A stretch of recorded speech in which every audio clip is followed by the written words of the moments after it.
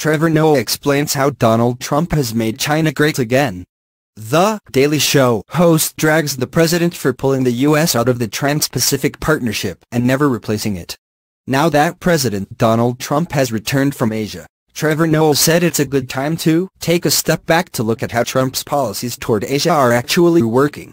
On Tuesday night, the Daily Show host went after the president for withdrawing the U.S. from the Trans-Pacific Partnership TPP during his first week of presidency and never replacing it.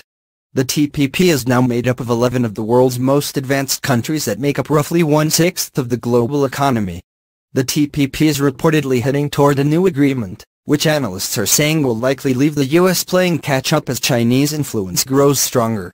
The TPP is a lot like TP, Noah said, referencing toilet paper. I'll tell you what happened to me with my roommate once. He insisted on buying the shittiest, cheap toilet paper that you could find. I hated it. I was like, we're gonna get rid of the toilet paper. So he did, but he didn't replace it with anything else. And if you don't replace what you don't like with something else, you're gonna be in deep shit, literally and figuratively. The US has also fallen behind in regard to climate change which Noah blamed on Trump's decision to pull out of the Paris Climate Accord back in June. In fact, the US and China, two of the world's biggest polluters, have actually switched places. China reportedly plans to spend $361 billion on renewable energy, which will create at least 13 million new jobs.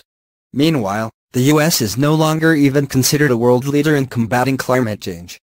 Donald Trump is so good for China that they're even using his presidency as pro-communism propaganda, Noah said before showing various news clips of reports claiming the Chinese people find Trump laughable compared to their leader, 11 Jinping.